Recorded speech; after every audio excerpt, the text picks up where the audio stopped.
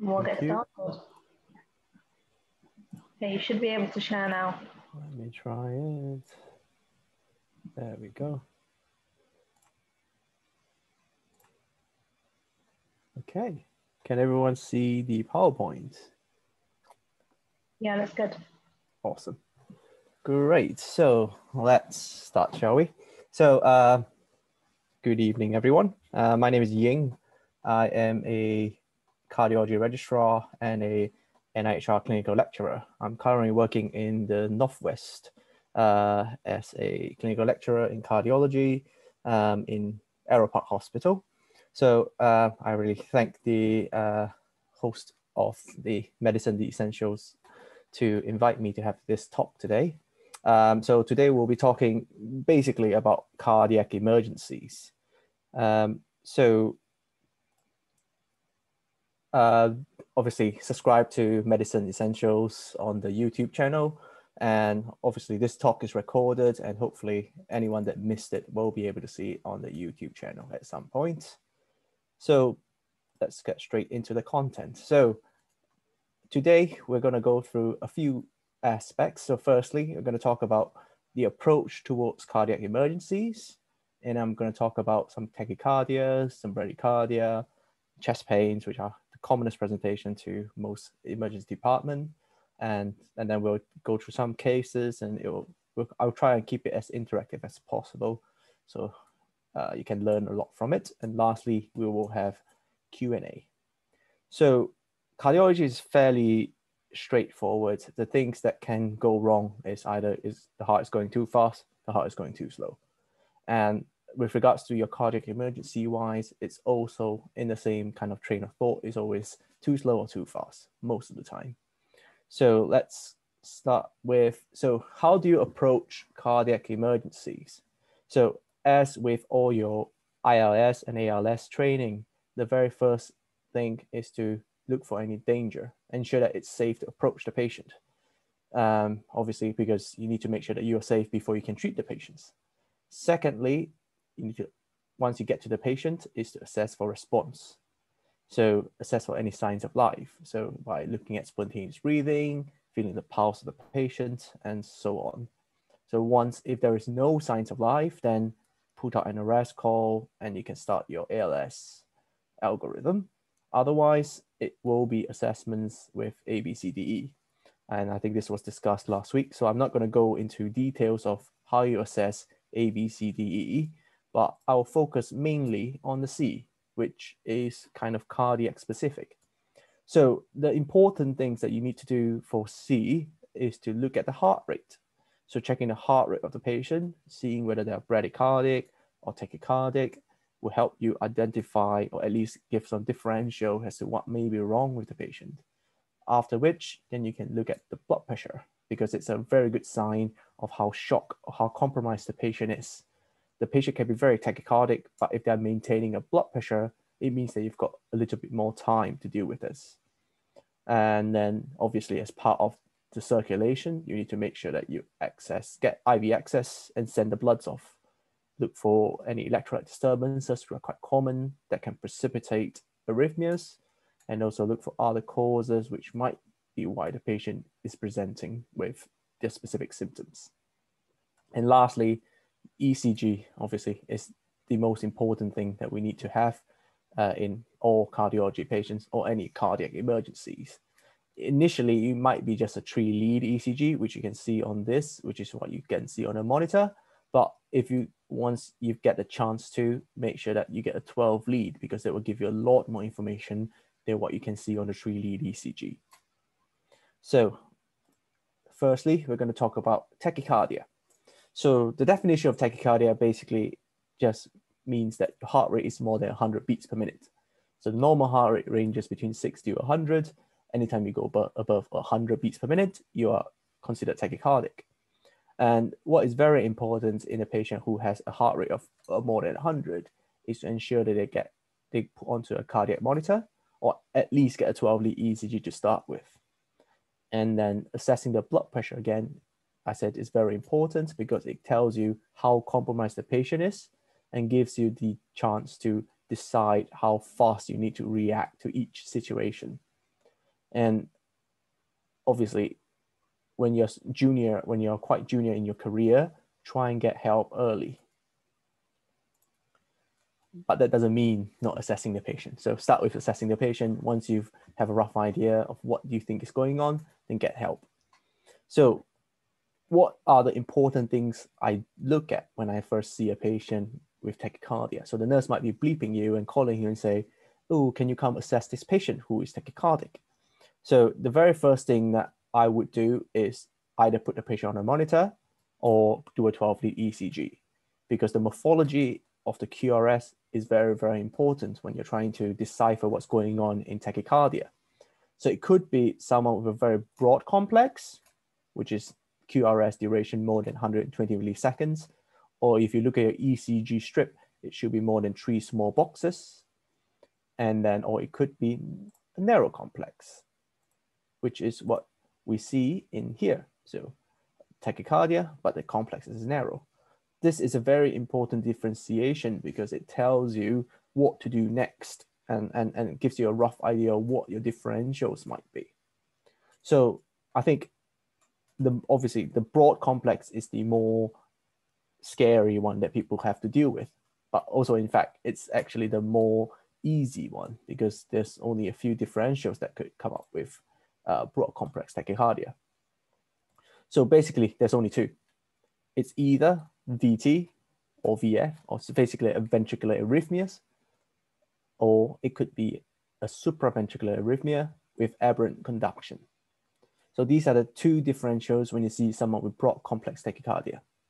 So most of the time, the safest thing will be to treat the broad complex tachycardia as VT because more that is the more dangerous rhythm and that should be something that you deal with quite quickly and appropriately. So getting help if you see a broad complex tachycardia would be one of the first things you should be doing. Uh, as I said, treat as VT in most cases. So the the different things can make you decide whether this is VT or whether this is a SVT of aberrancy.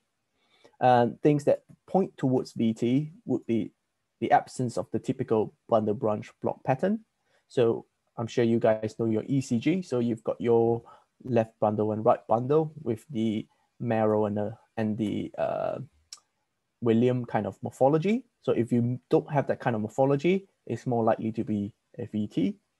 If you have very, very broad complexes, like more than 150 milliseconds, if there's AV signs of AV dissociation, which is what you see, so the red one is fusion beats. So you see the sinus beat and the ventricular beat fused together into a weird complex. Or you can have a capture beat, which you see the broad complexes in the middle, the ventricles capture from the AV node. So it becomes a normal beat that conducts through and then it goes back into your uh, broad complex again. So these two signs are very suspicious of VT and then obviously, lastly, the, having the age and the medical history is useful. Young patients are less likely to have VT. Doesn't mean no, but less likely. And obviously, someone with ischemic heart disease or heart failure are more likely to develop VT. So this will help you triage your patient a little bit better. In case of hemodynamic compromise, in the in the sense that there's no cardiac output, the patient has very severe chest pain and or low blood pressure, cardioversion is the only treatment for broad complex. Otherwise, there will be medications which you can uh, see from the ALS algorithm, which involves amiodarone and different things. But I wouldn't expect foundation year doctors to initiate that without discussion with the registrars.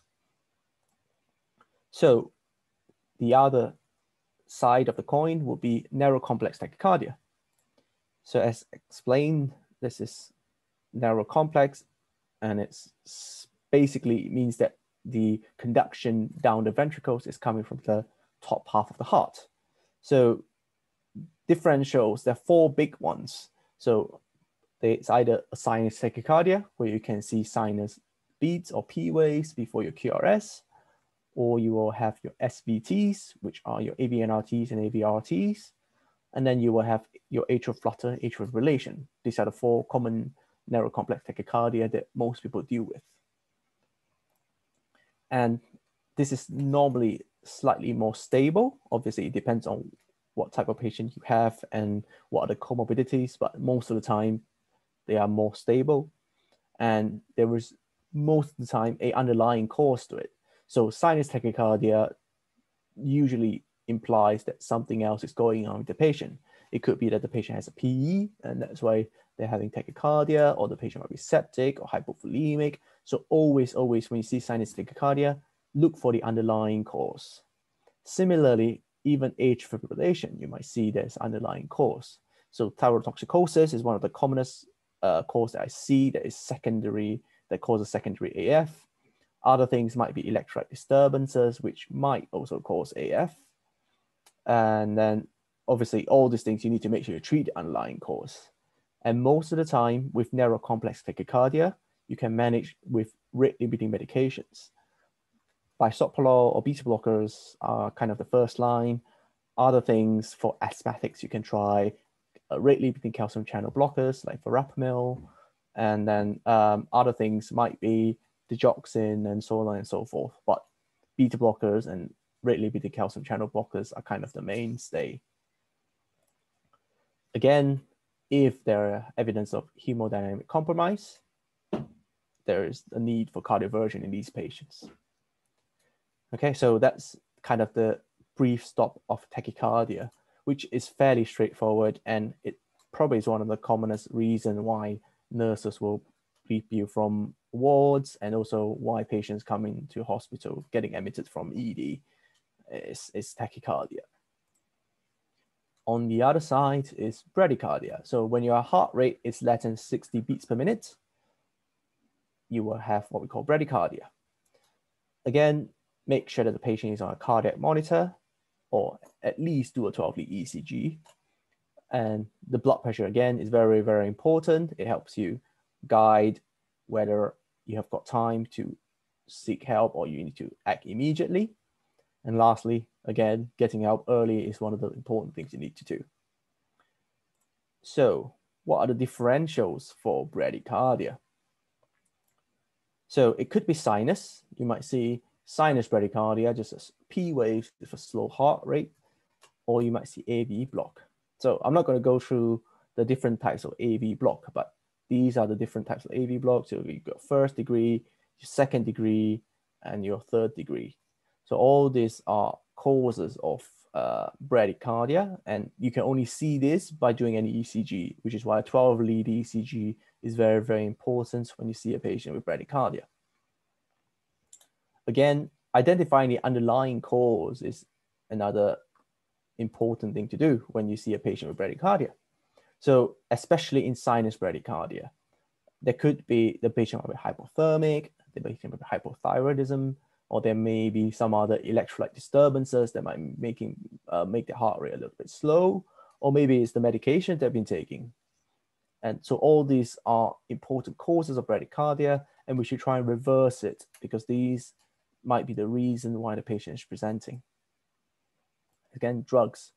We can use different drugs to try and treat bradycardia, and it's all on the ALLS algorithm, and that is mainly like drugs like atropine or um, uh, isoprenaline infusion. And these will be instigated if their patient is showing evidence of compromise.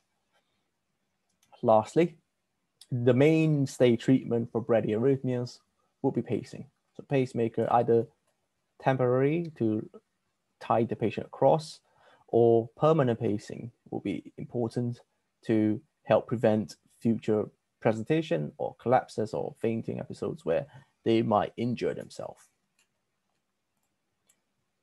Okay, so those are the kind of two common presentations in um, in cardiology with uh, with regards to emergency. So your tachycardias and bradycardia. Has anyone got any questions before I move on to chest pain? Um, there's quite a few questions in the chat. Uh, I don't know if you'd want to address them at the end. I don't know if you can have a quick look. Let me have a look to see if it's related. Uh, I might need, let me try and stop sharing for a bit and then I'll go on to the chat. Let's see. Um, ooh, ooh, there's quite a lot. there's quite a lot of questions. So um, I think the f- I'm gonna skip the first few because it's about troponins. So I'll, I'll talk about it once I've done the chest pain talk. Uh, let's go down to the next one. So first troponin, second one is about BMP, which is troponin again. We'll skip that, skip that. Um, beta blocker. Okay, so there is a beta blocker one. So it says which beta blockers are most favorable in those with peripheral vascular disease. So in the nebivolol with vasodilatory attributes, in patient peripheral artery disease, refractory and refractory hypertension, what features would alert you to investigate for renal artery stenosis and caution you against RAS blockade? And how would you check the urine? How would checking the urine albumin creatinine ratios modify your management plan? So that that is a quite a complex questions to be fair. But uh, yeah, so let's start with uh, beta blockers used in peripheral vascular disease. Yes, nebivolol has vasodilatory attributes, so it could be used. Uh, most, uh, I think some beta blockers such as bisoprolol, which we commonly use, is not absolutely contraindicated, but there are some patients that get issues with uh, Raynaud's and, and peripheral uh, vasospasm when they have beta blockers, so nebivolol could potentially be an option. Um, next is the one investigating for renal artery stenosis. I think most of the time we try and investigate for renal artery stenosis in young patients with hypertension. So because those patients are normally the ones with uh, uh, secondary causes to the hypertension.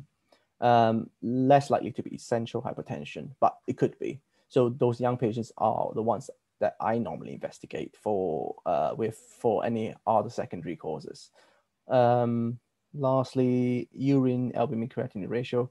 It, it doesn't really change the management plan, but it guides you towards whether they've got end organ damage or some diabetic uh, uh, nephropathy with regards to when you check uh, albumin creatinine ratios, because it can tell you that there's been some protein leakage through the renal system.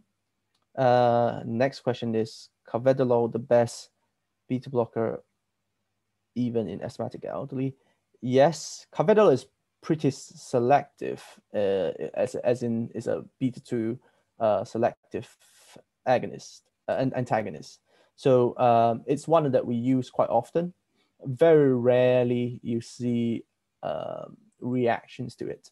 But if you do, you can try something else that is less selective like carvedilol but most of the time, bisoprolol, I've not had issues with it. Um, in asthmatics, especially brittle asthmatics, I'll be quite careful with using uh, bisoprolol. And normally, you can try different medications like verapamil or some other calcium channel blocker instead. And I think the last one is is nebivolol first choice in elderly, or can they continue on any beta blocker? I think any beta blocker again is uh, bisoprolol is the one that I always go for. Um, what degree of sinus bradycardia would you consider pathological athletes? How low is too slow? There, there really isn't any cutoff to how slow the heart rate is. If if it's a sinus bradycardia, you can you can see it in in in athletes. Normally they can go down. I've seen it go down to lower than thirty, and and they are fine with it as long as long as they have um, uh, cardiac output or, or, or, or, hold, they hold their blood pressure with the heart rate, then it should be fine and they're asymptomatic. Uh, very rarely we can ask them to detrain and you might see the heart rate build back up again because obviously in athletes, you don't really want to put a pacemaker in when they are very young because there will be a lot of box changes and things, especially if they have if they are involved in contact sports because it's, it can be quite dangerous with the pacemaker in, in place. So most of the time, we, we these patients don't need any treatment unless they are really symptomatic. And if they are symptomatic, we'll ask them to detrain first and get see whether the heart rate picks back up. Uh, in syncopal patients with palpitations, what additional features should prompt an ECG analysis for Brugada? Fine. Yeah. So I think this is as I think in, in patients with family history, um, if you have any doubt in their ECG, especially when they have syncope with palpitation, they should get uh, at least a 24 hour monitor. Most of the time nowadays, they get a loop recorder to keep an eye on their heart rhythm for a much longer time because it's very easy to miss uh, subtle changes. Um, ECG features within within uh, Brugada. I mean, right bundle branch block is one of the commonest one. Obviously, you've got your typical Brugada with the S, uh, the concave ST, and sometimes you can put your V1, V2 lead one space higher, and you might see that change is a little bit more prominent. And then lastly, if a tachycardic hypertensive patient has left atrial dilatation and complaints of intermittent palpitation, could levothyroxine precipitate AF? Um, unless they are over replaced, levothyroxine don't really precipitate the AF. If they are not, if, if their levothyroxine dose is the right dose, you don't normally see it precipitate AF. But if they have left atrial dilatation, they are more prone to having AF anyway. So it might just be that they have underlying atrial fibrillation that just comes on and off. And the treatment will be the same as normal AF. So you just treat it like with beta blockers and make sure they're on anticoagulation if need be. Okay, so I think that's all the kind of heart rhythm related questions. So let me move on to the next one Am I screen sharing. Let me try. I think I've got the wrong one.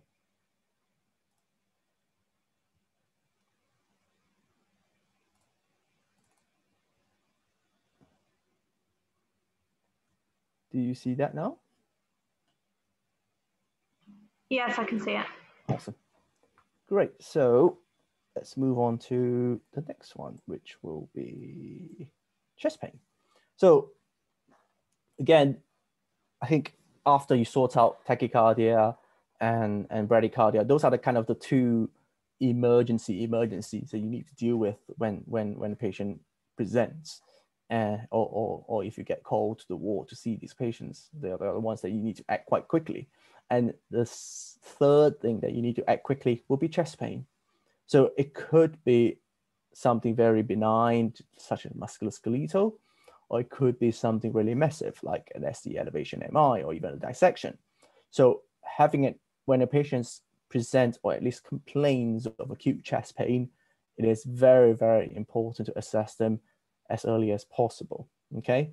And most of the time, through the history and doing a basic ABCD assessment, you can have a rough idea of whether this is something you need to be really, really serious and deal with it then and there, or you've got time to do an ECG and reassess after some blood tests and things like that. So always check if they are currently having pain because having ongoing pain, especially if it's cardiac, then it's a very bad sign. And then um, if they are having current pain or they're currently having the pain when you're talking to them, get an ECG immediately because it could be something imminent. As I said, clues in the history. So obviously as a cardiologist, the most important thing that we like everyone to know how to manage is ACS. So ACS or acute coronary syndrome is the umbrella term for uh, unstable angina, non-ST elevation myocardial infarction, and ST elevation myocardial infarction. So as this is as opposed to chronic coronary syndrome, which is in the past called stable angina. So the differentiation between the different types of ACS is by their biomarker and ECG. So in patients with chest pain and a raised troponin, it will be either an NSTEMI or STEMI depending on their ECG changes. In patients with chest pain at rest without troponin rise, it will be an unstable angina obviously they need to be cardiac chest pain, which we'll talk about in a bit. And obviously patients who only has chest pain when they exert themselves will, go, will fall under the umbrella of chronic coronary syndrome or stable angina. So um, let's talk a little bit about what is typical versus atypical versus non-cardiac kind of chest pain. So as I said, the history is the key to diagnosing chest pain or ACS. Um, most of the time, patients complain of constricting discomfort in the front of the chest in the neck, shoulder, jaw, or arms. And normally radiates down the left arm. Obviously, there are patients that present with atypical sounding chest pain that is not the classic description, which falls out with this category and they will fall under the atypical chest pain category. And some patients, most of the time, these are precipitated by physical exertion. Okay, so if you think about it, patients with uh, narrowing in their coronary arteries, when they exert themselves, the heart needs a little bit more blood, needs a little bit more oxygen, and because the arteries are narrowed, they can't get enough supply, they get this warning signs of chest pain. So normally it's precipitated by physical exertion, and then it's normally relieved by rest. So once they exert themselves and they sit down, the, the pain will go away within five minutes, or if they use their GTN spray, they'll go away within five minutes. So this is your kind of your typical chest pain if you have three out three uh, ticked off when you get a history. When you have two out of three, it will be atypical. When you have one or nothing out of three, then it's normally classed as non-cardiac chest pain. Obviously, all this is more of a historical description. We always look at other cardiovascular risk factors, which we know about, because these will help you risk stratify your patient a little bit better. So a patient who has previous MI is a big red light. Patient with family history, especially a premature coronary artery disease, when they have a family with heart attacks or bypasses or PCIs below the age of 65, you need to red flag them. Patient who are smoker, diabetics, hypertension, dyslipidemia, those are common things that make you think that this is more likely to be a cardiac type, cardiac sounding chest pain than other. And it will take a lot to try and not investigate these patients further. So common ECG changes which you see in um, chest pains, and that's why you need to do the, which is why the 12 lead ECG is one of the most important uh, investigation to start with, would be ST elevation. So when you see this on an ECG, it should be a primary PCI. So it should be activated immediately because when they have these changes, it means that their uh, heart is undergoing severe ischemia and the only treatment to save the heart muscles would be to start to bring them to the cath lab and open up the arteries with uh, stents. Other possible changes are what we see as ST depression. So you can see here, there's some quite a deep ST depression over here, here as well. So the lateral leads. And then other things would be like T-wave inversion. So you can see here, there's some deep T-wave inversions on this side. And then some patients have what we call biphasic T-wave. So you can see the T-wave going up and then coming back down again. So these are, could be signs of ischemia. And it all depends on which region of the ECG is pointing towards and it guides us as to where the culprit vessels might be. So I won't go deep into the ECG, but know the ECG well so that you can map out which region it might be affected and it will help you guide whether these ECG changes are, are something concerning or not. So what are the common investigations that we should do? As, as I said, ECG is very important. It's the, one of the very first thing we should be doing in patients with chest pain. Other things would be mainly to look at other differentials, uh, which could be the reason why the patient is having chest pain. So um, imaging, chest x-ray is kind of the basic thing you should be doing, especially in young patients who've got sudden onset chest pain and they've got a chest that sounds silent. There might be a spontaneous pneumothorax. Um, other things like CT will be useful to rule out PE and also to rule out dissection. Lastly, uh, blood test is another way to find out why the patient is having chest pain. Could he have a chest infection? Could it be anemia causing angina uh, or anemia causing chest pain symptoms? Could it be someone with uh, troponin rise and ACS, or could it? And then you can look at other. If you're thinking further ahead, you'll be looking at other risk modification for these patients. So checking the HbA1c and lipid profile will be very important to try and risk stratify and modify these patients in the future. So this is the 2020 ESC guideline on uh, chest pain at the front door. So nowadays, I'm not sure which, obviously it depends on which hospital. Every hospital has their own policy, but the rapid rule out or rule in kind of troponin is where we are going at the moment. So you do a first troponin when a patient comes in, and then depending on the results, you can do a subsequent troponin either in an hour or more commonly in three hours. And within there, it will help you decide whether the patient should come into hospital or could be could be saved to discharge. Okay, so this this is kind of where most hospitals hospitals will be headed towards, where they have the zero hour or zero one hour rule out uh, troponin test to try and improve the flow of patients from uh, emergency department. So what are the important differentials for non-traumatic chest pain? So non-traumatic chest pain can have a lot of differentials. The four big ones which I've highlighted here are kind of the big red flags to rule out in the at the start. I split them into different sections so that because the treatment is very different in all these uh, uh, presentations. So in ACS and pulmonary embolism, treatment will be anticoagulation and antithrombotic medications. The, in aortic dissection, they will need surgery, whereas in the pneumothorax, they will need decompression.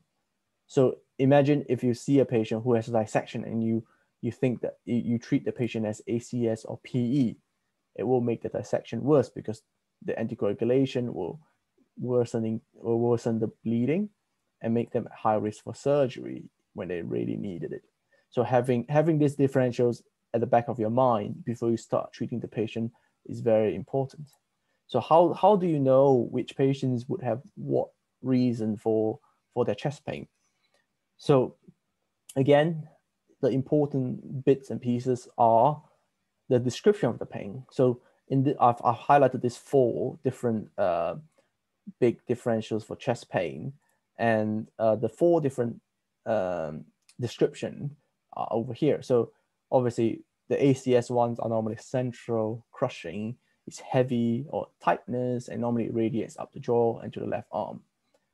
Whereas the pulmonary embolism are normally pleuritic sounding and more commonly associated with shortness of breath.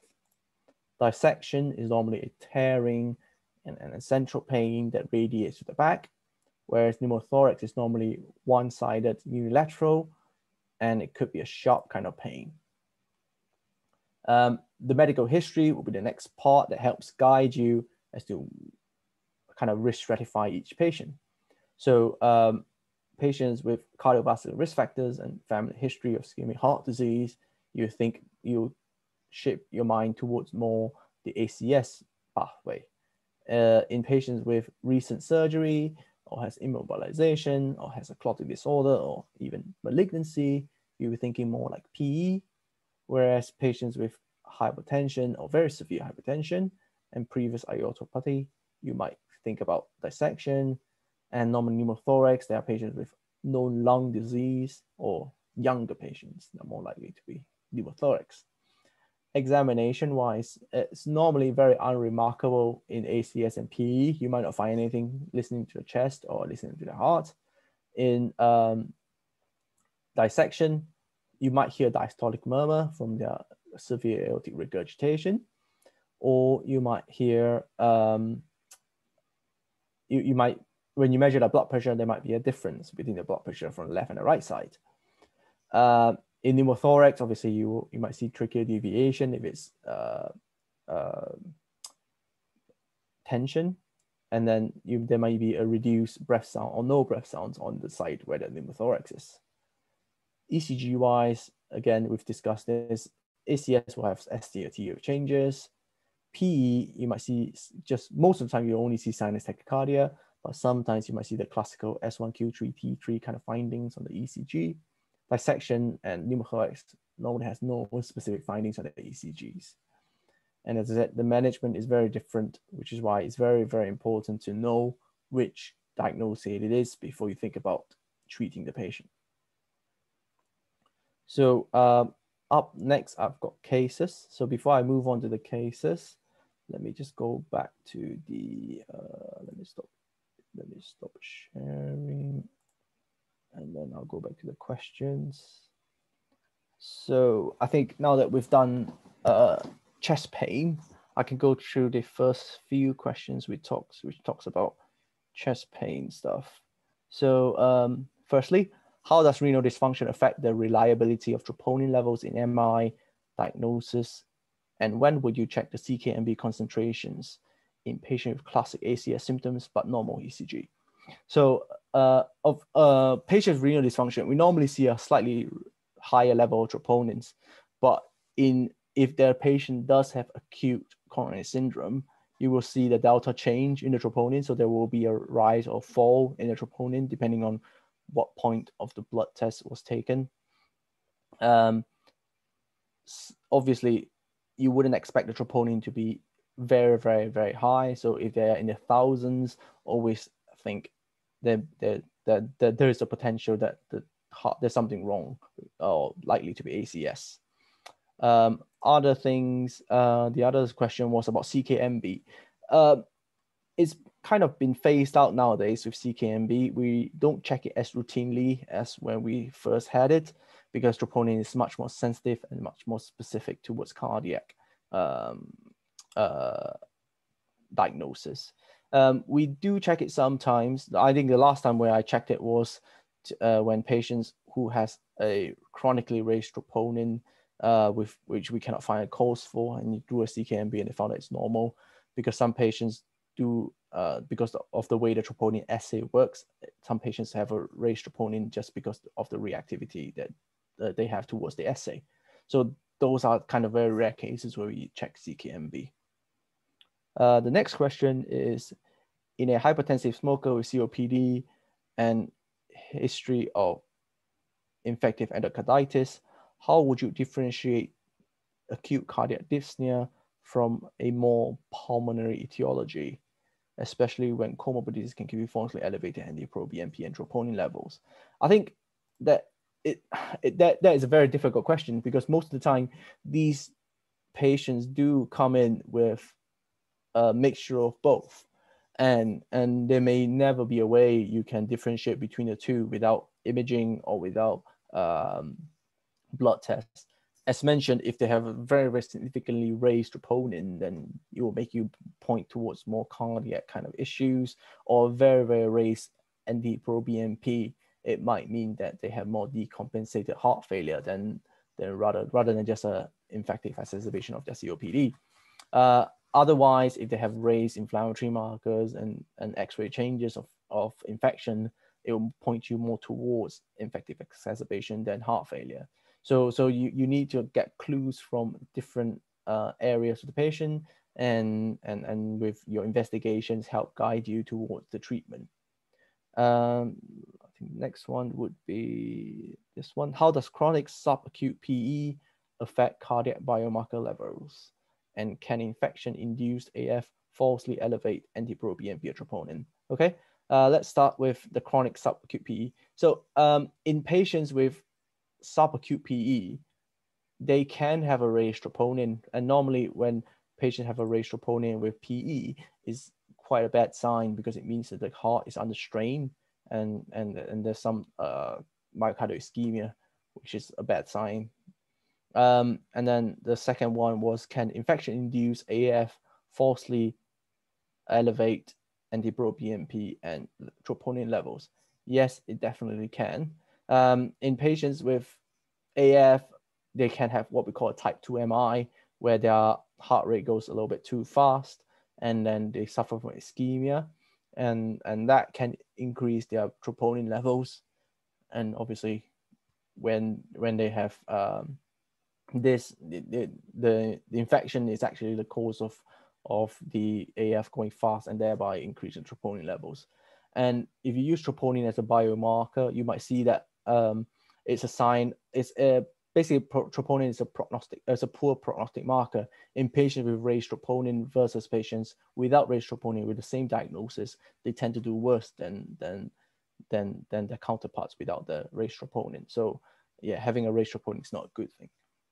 Uh, I think the next few things would be how what when would you resort to using positive inotropic treatment in cardiogenic shock? And what is the adverse inotropic risk of cardiac rupture? I think um, obviously it's quite advanced. Uh, normally, in patients with cardiogenic shock, shock, the only way you can treat them is positive inotrope when you can't get their blood pressure up, and and that will be the only treatment that you have. Um, obviously, in in in more advanced centers where you have LVAD and and and uh, circulatory support for the patients, then it's slightly different. But anywhere else where you have buying time to keep the patient alive, the inotrope will be the only way to treat them. And then next is, uh, is there a correlation between D-dimer levels and right ventricular failure? Uh, and can pro-BNP be normal range in patients with predominantly right heart failure? So I don't, I'm not sure about this, but I don't think there is a correlation between D-dimer and right ventricular failure. You will see a D, the D-dimer is a, is, is a breakdown product of uh, coagulation and clotting. So, so when you have pulmonary embolism, you will see a raised D-dimer. And, and that might just be the reason for the raised D-dimer. And there's no relation between the levels and the amount of right heart failure. And then uh, can pro-BNP be normal range in patients with predominant right heart failure? Uh, yes, it can be. So pro-BNP is a marker of how overloaded the patient is, technically, because the more stretched your, your atria is, the more uh, pro-BNP you will have. And so if you manage to offload the patient to dryness, the pro-BNP should start to come down. So yeah, they can, they can be normal range. How atypical could cardiac acute ACS chest pain present in older diabetic lady who has neuropathy? uh, on such non-specific critical symptoms more likely to be missed or falsely negatively dismissed. Yes, so I think this this is one of the big things that we're trying to um, look into, especially uh, in women, because women tend to present with more atypical chest pains than men, and and it's something that uh, everyone, or at least in the cardiology field, we are we are trying to avoid having the stereotypical chest pain as as the cause or as the only way you diagnose the patient. And which is why having a background of the patient is very useful because having the background will help you guide how risky it is. So you risk stratify the patient based on is the patient diabetic, is the patient has the patient got high blood pressure, has the patient got has uh, dyslipidemia, and all these different things will help you um, risk stratify the patient so you know whether you can dismiss this chest pain or not, and whether you should investigate the patient further. Um, let's go on. I think answer that. Da, I think the last one is if the patient has diabetes for coronary vascularization, would you prefer to do CABG instead of PCI? Oh, that's a very good question. So um, normally it depends on the firstly it depends on the location of the uh, disease and and and and and um, whether it's amenable to PCI and obviously the other thing is what the patient's preference is. If both options are the same, then it should uh, with regards to it's it's safe it's safe to do either PCI or bypass, then it should be a patient's kind of led choice. The patient should be choosing whichever that they want to do, depending on what their lifestyle is like. Um, but for longevity wise, bypass surgery normally lasts lasts longer than PCI because we know that patients with diabetes, especially if they are poorly controlled, they might have to come back for further interventions after the first PCI. And, and at, at some point, once we've stented all the vessels to the point where we can't put any stents anymore, then bypass surgery might be the only option, uh, which is why in patient, especially in young, young, younger patients who has diabetes, bypass surgery is kind of the preferred option, unless the patient strongly feels that PCI is what they want. Okay, so I think that is all the questions that we have. So let me go back to sharing the screen again.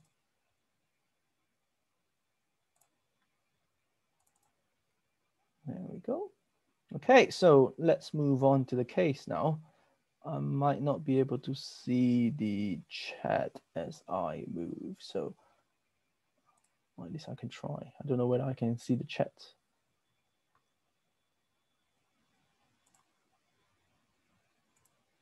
Oh, there we go. I got it open now. Good. So let's go on. So um, I'm going to go through three cases. So I'll try to be as interactive, or try to be as interactive as possible, um, or just hopefully you will learn something through the previous talk that I have. So let's start with patient number one. So patient one is a 75 year old man in the coronary care unit. So the nurses has just bleeped you saying, oh, this gentleman is complaining of some palpitations and is feeling very dizzy. Would you mind uh, coming to see this patient?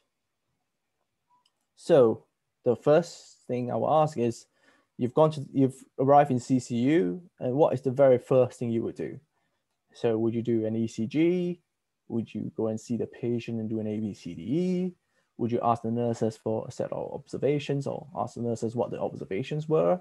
Or are you just going to look at the patient's notes or we just call for help straight away?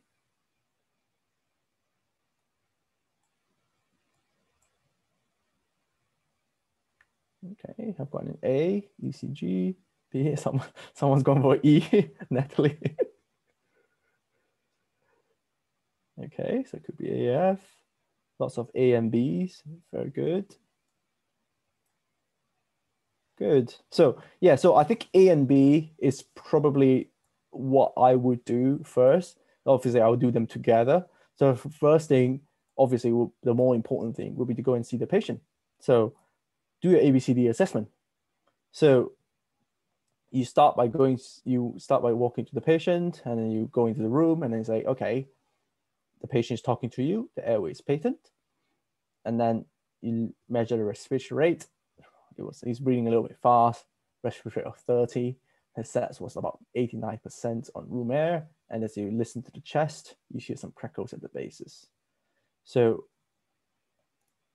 just as you were about to move on to C, the patient collapsed and falls to the back of the bed. So what would you do next?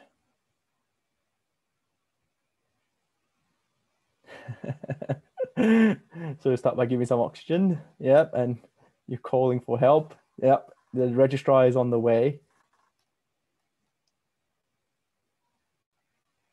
So you've done your A-B assessment. Yep, so someone's calling code blue. So that will be a cardiac arrest call, or at least at least something uh, an emergency call to get everyone in here. So the next thing I would probably do if I see a patient collapse in front of me, Good. So reassess. Yes, that's what you call. That's the that's the important thing is to reassess. Once the situation change, you should be reassessing the patient. So the patient is talking to you initially, and now the patient is collapsed onto the bed. So you reassess the patient. So you do your ABC assessment. So check for response. So once you're checking for response, you find that, oh my God, the patient has no signs of life. They can't feel your pulse. There's no breathing. You start some chest compression, and you attach pads and defibrillator on the patient as you're doing it obviously the nurses are gone to make the cardiac arrest call, so the team will be coming soon. And then once you put the pads on, this is what you see. What should you do next?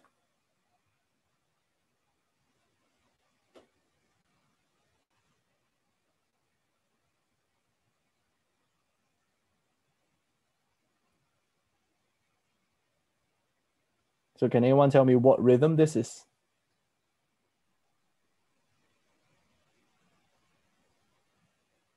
Yep. So someone's doing chest compression. So we are we are doing chest compression now.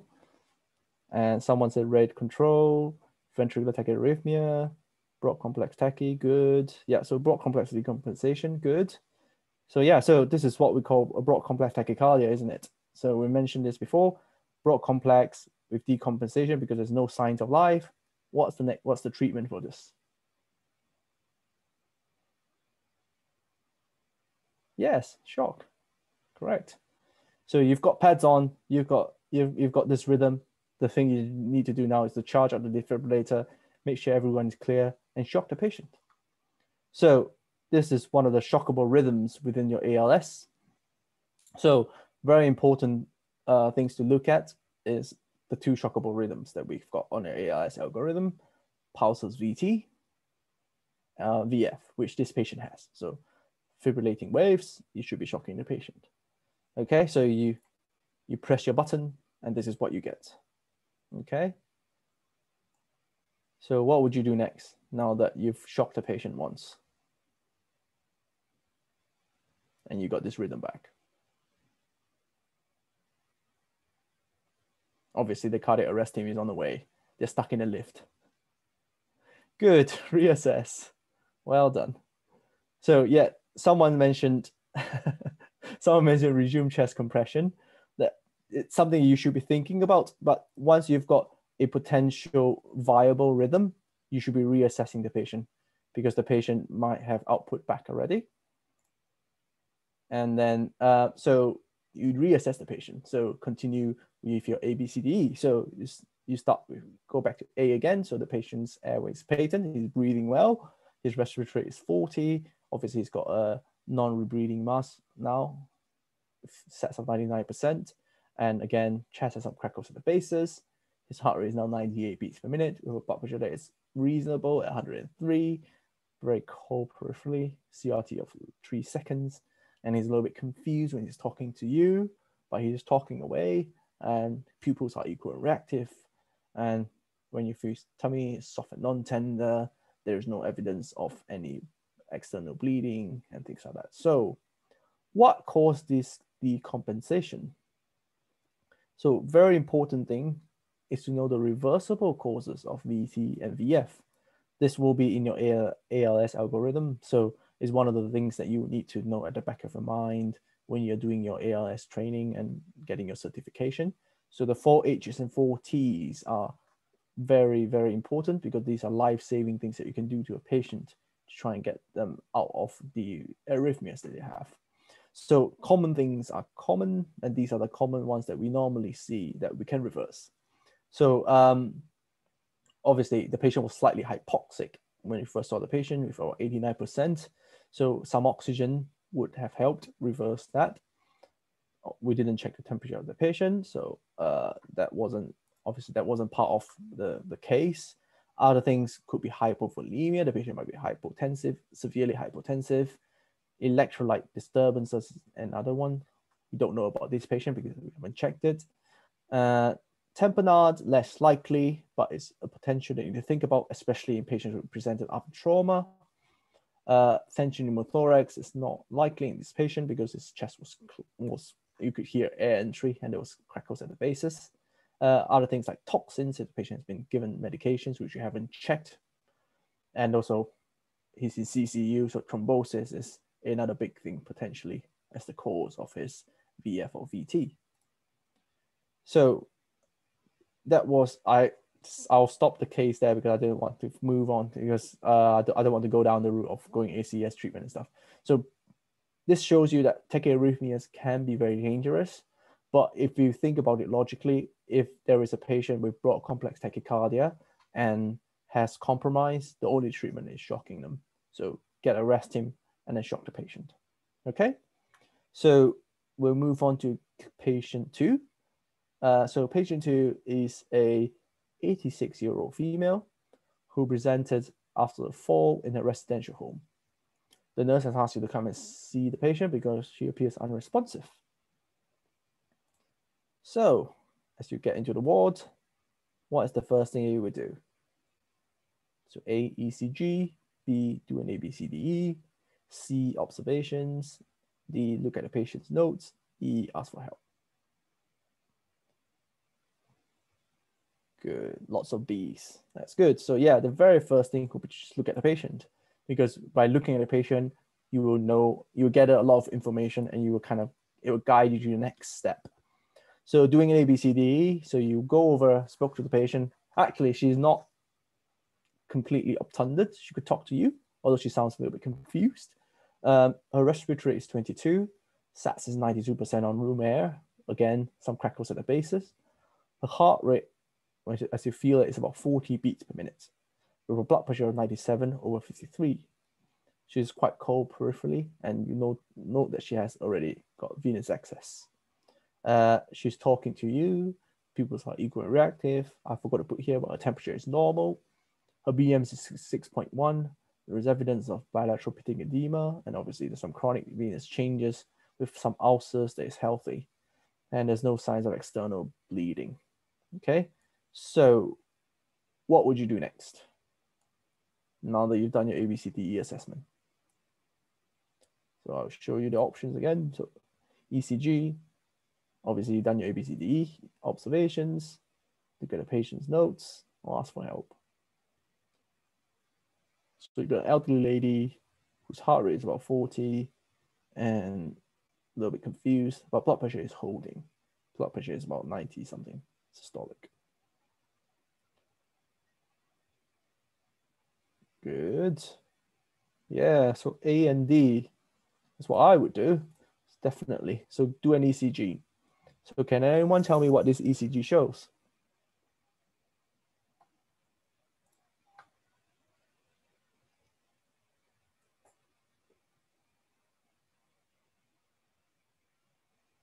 Good. Someone's mentioned heart block.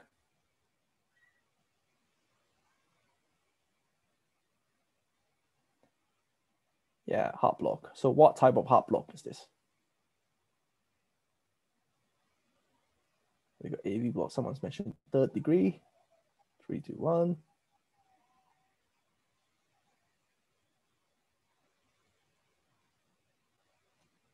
Four to one.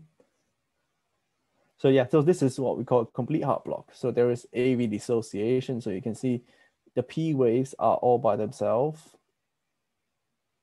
This is P, P, P, P, P, and the QRS are all by themselves as well. So there, there's no, there's no relationship between the P and the QRS. Uh, it means that the atria and the ventricles are not talking to each other. So that's what we call complete heart block. Okay. So this is a lady who's got complete heart block now on your ECG. And obviously the patient is quite stable. So you go on and have a look at her notes. So review her notes. This was her entry from uh, coming to hospital. So this was her admission note. So it says, no history of patient as she appears confused. So when the SHO saw the patient, they said she was found on the floor and seems to have fallen out of bed and apparently has been complaining of dizziness and the GP has reviewed the patient, noted high blood pressure, and started on some antihypertensives. Medication wise, she's on donepezil for, for dementia, she's on simvastatin, she's got long term UTI, and some hypertension that started on amlodipine recently. And non smoker, social history wise, she's pretty okay. Good. Okay, so what is your diagnosis then? What is the reason for this patient's fall?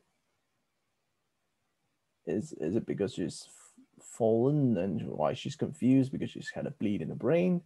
Is it because the GP started her on some amlodipine and now she's got postural hypotension? That's why she's having falls. Is this a cardio, what we call cardiogenic syncope? Or is it just because she's got UTI and she's a little bit confused? That's why she's not making sense. So I've got C, See, yeah, so you got the idea. So this is a patient, an elderly patient with complete heart block. It, it, this are this is all cardiogenic, unless you can prove it otherwise. So yeah, so now that you know that this patient has had a fall and and and has complete heart block, what would you do now?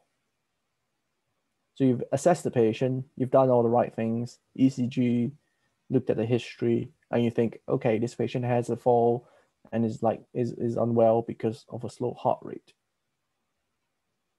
She might need pacing. That's absolutely correct. External pacing. Pacing. Good. Yeah. So the treatment for this patient is a pacemaker. So what I would do as a junior when I first start, when I see this patient, would be to let one of the registrars know. I've got basically uh, hand over to the to registrar and ask for some advice as to what you would do. So most of the time, this patient will need a monitored bed.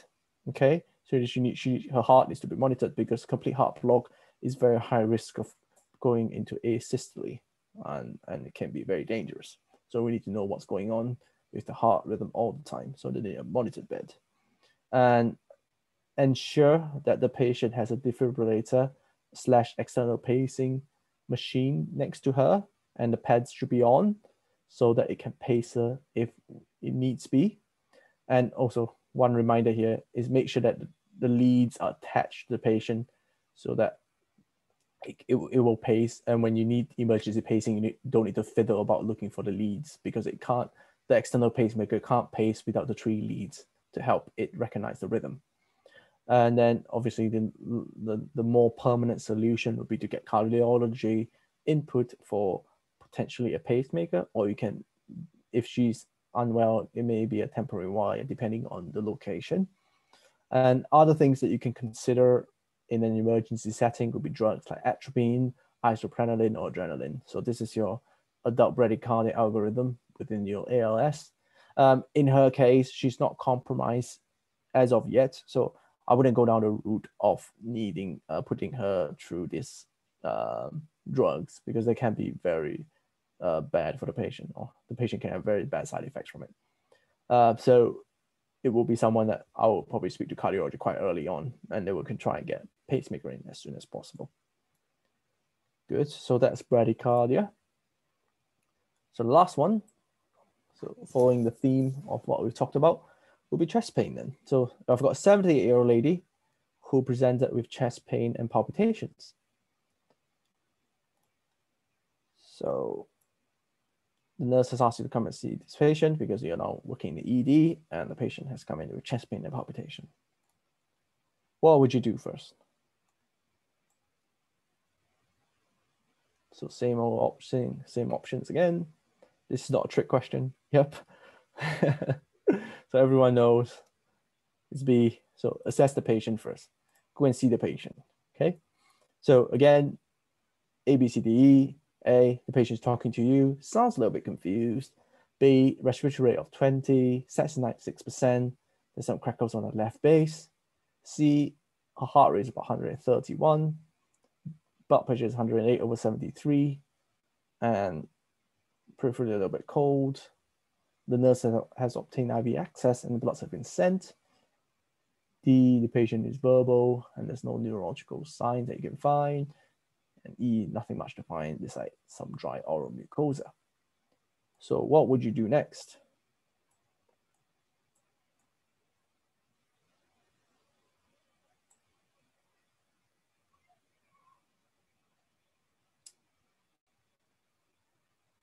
ECG, great. So you've asked for an ECG.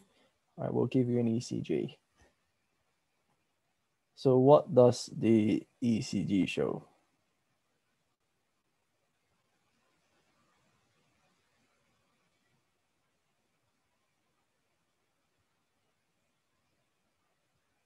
Good, I see AF.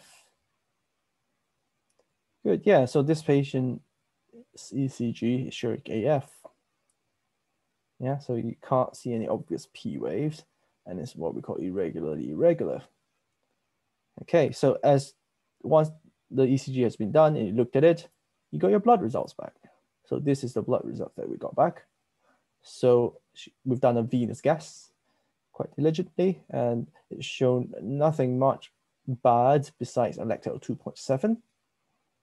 Uh, her other venous bloods are back as well, and we've got hemoglobin of 79, white cell 17.5, um, a little bit urea 18, creatinine 151, which you don't have a baseline for. CRP is 102. Her first troponin was 88, and the other electrolytes are normal, thyroid function is normal. So with, with this picture, with the examination findings that you have, with crackles and some dry oral mucosa with some cold peripheries, and the ECG of AF, what is your diagnosis? Why is this patient presenting with chest pain and palpitations? I've got sepsis.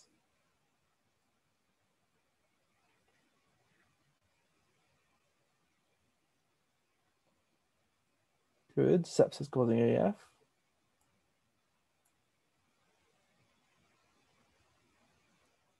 So yeah, so that is the most likely cause because you've got a patient with left basal crackles, potentially an infection, blood in uh, blood consistent with uh, an infection with raised, raised inflammatory markers and raised lactate, which is a bad sign.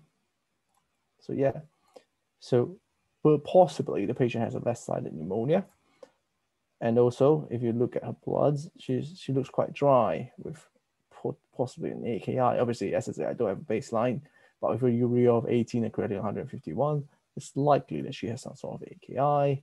And the findings of being dry and peripherally shut down is a sign that she's she she's probably a little bit on the drier side.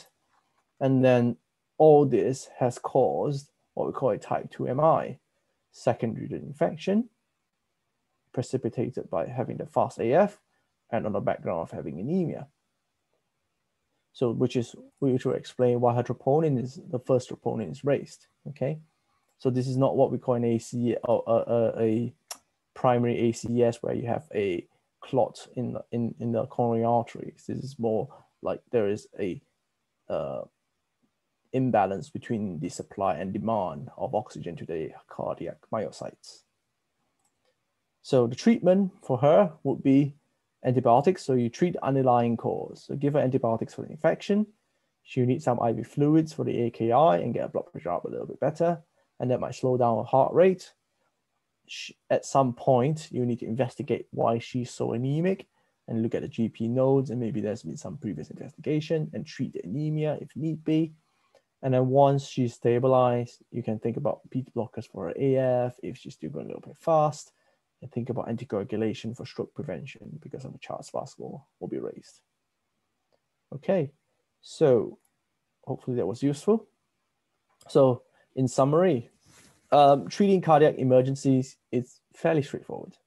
So always stay calm, the most important thing, so that you can think straight, do the basics right, get your ABCDE assessment appropriately, get an ECG, get help early, and if there's any compromise, any signs of compromise, shocking is most likely the treatment of choice.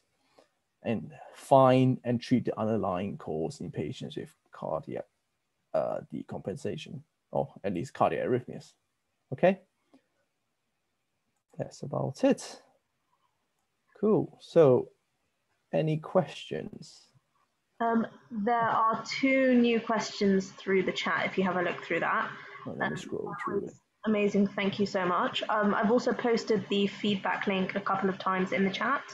Uh, if you guys make sure to fill that out, uh, these talks are free, it's the only thing we ask for. Uh, it helps us make things better, and also it's the only way I can give you your certificates. So please do fill those in as well. Um, Great.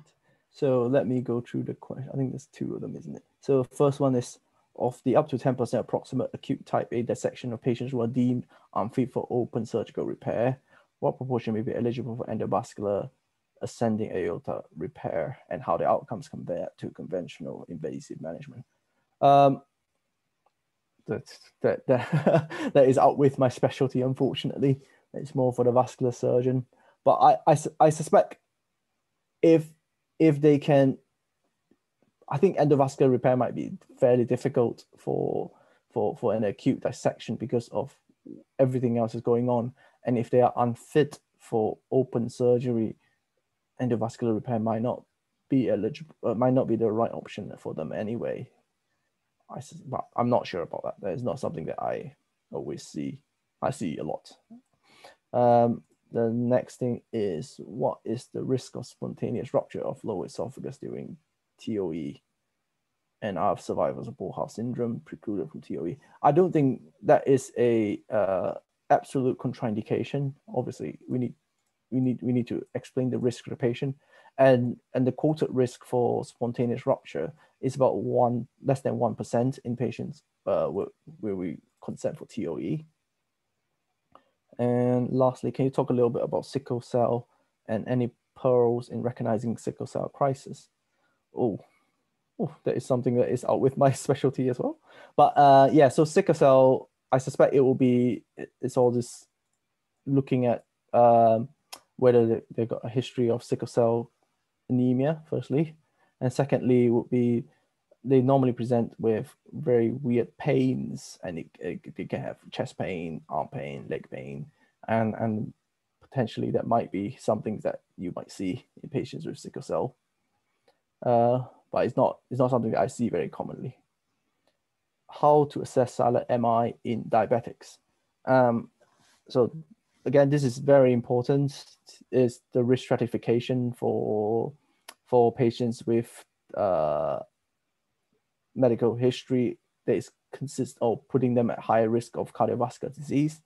So assessing silent MI would be obviously your history won't be there, but you might have uh, other things that will help guide you, such as biomarkers or blood tests, looking at troponins, ECGs, and if all else fails, then you can go on to more advanced things like imaging with echocardiogram, CT coronary angiogram, or even or even um, uh, stress echocardiogram and MRI to assess for ischemia in patients who doesn't have chest pain.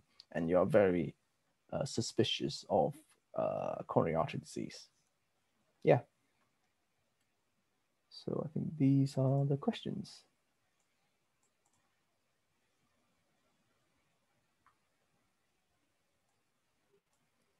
Any other questions?